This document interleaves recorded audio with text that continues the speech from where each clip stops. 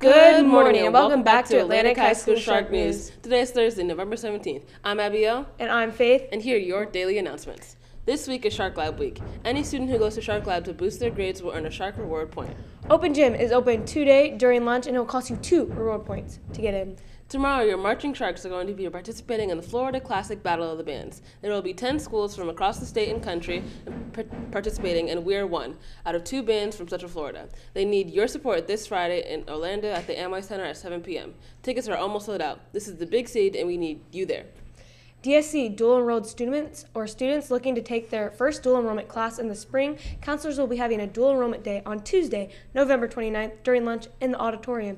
If you need your dual enrollment form signed, helping in your DSC classes, or signing up for a new student advising session, or help accessing your DSC Falcon mail account, please come. Are you interested in playing baseball for AHS? There will be an informational meeting for our spring baseball season on the Monday, November 28th, after school at 3:45 in the cafeteria. Please bring your charged laptop to this meeting to assist in the clearance process. NHS will hold a mandatory meeting for all members on Wednesday, November 30th during lunch in room 4-002.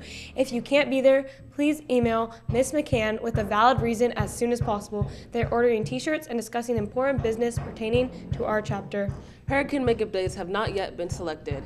We do know that the makeup time will come from the next semester and not our Thanksgiving holiday. And that's it for today's news. Thanks, for watching and have a great day, Sharks.